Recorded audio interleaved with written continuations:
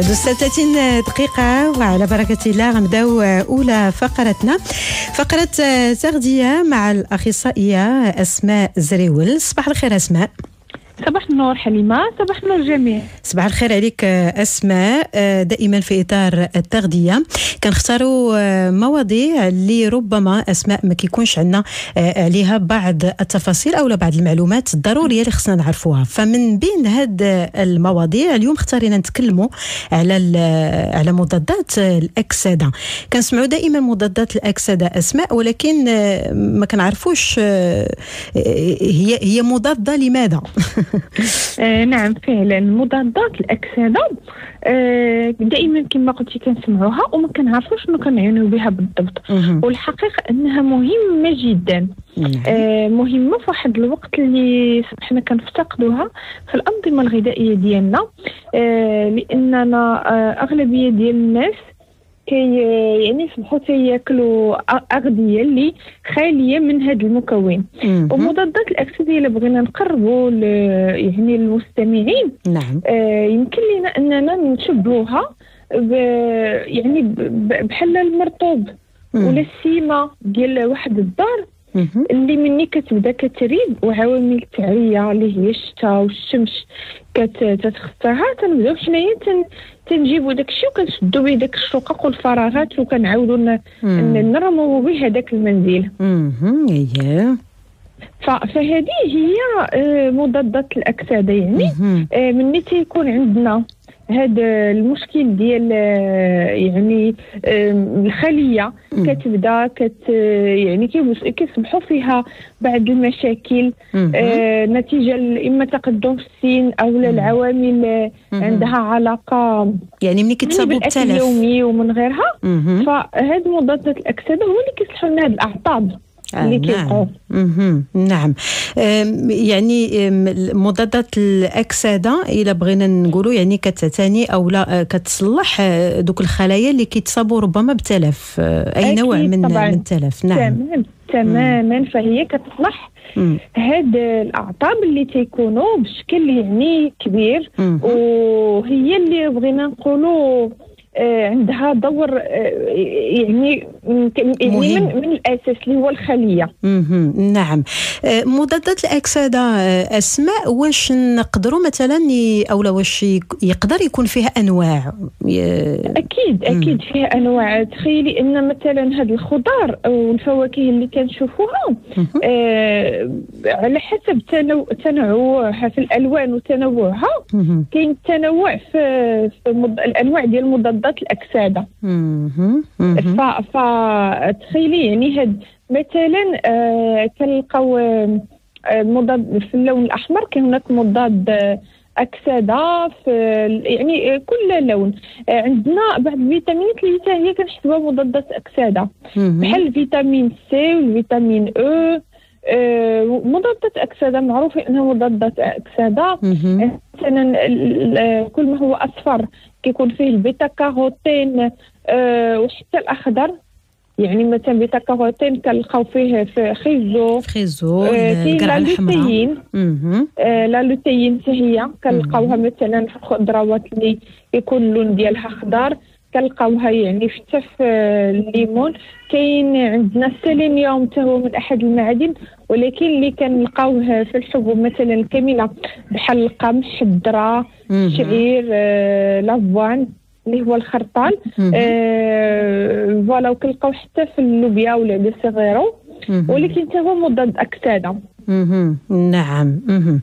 كنلقاو أيضا حتى مثلا كنلقاو حتى ال- المضادات الأكسدة بحال les les les polyphénols كنلقاوها حتى في زيت الزيتون مم. آه l'extra vierge. نعم ف.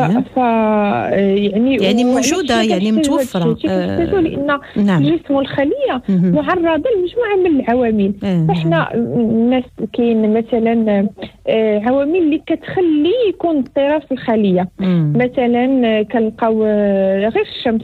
الشمس. يعني الشمس حتى هي كتتعرض لمشاكل في الخلية. صحيح. تعرض للشمس. مثلا آه، يعني آه، يعني بعض الملوثات اللي كاينة في الهواء والماء وغيرها. الناس اللي كيستهلكوا يعني السجائر ويعني الشيشه وغيرها. مثلا هاد الناس هادو تخيلي يعني الحاجيات ديال فيتامين سي عندهم كتزاد. لا الناس العاديين إلا كانوا من مستهلكين يعني ال ال يعني السجائر والشيشه وغيرها. نعم.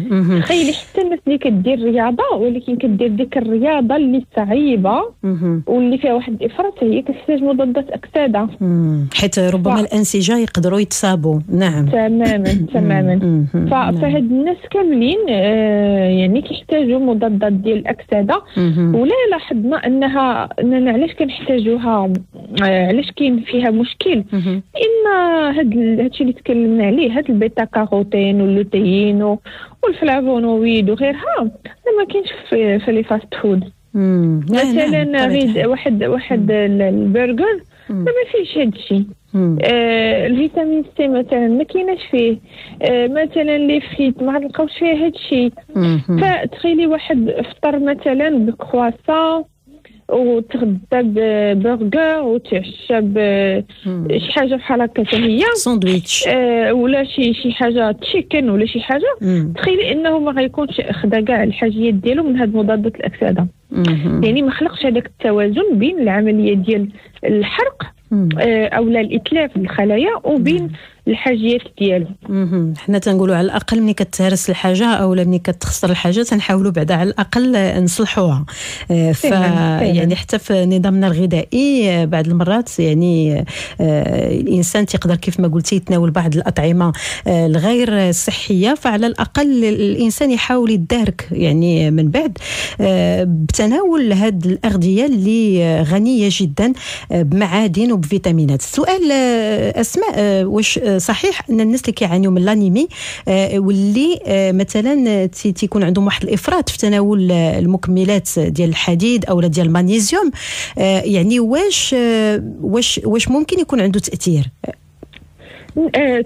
تاثير تاكسدي تخيلي فعلا. آه لأن الحديد نعرف هو oxydant يعني عنده تأثير تاكسدي نعم. وبالتالي خصو مضادات الأكسدة.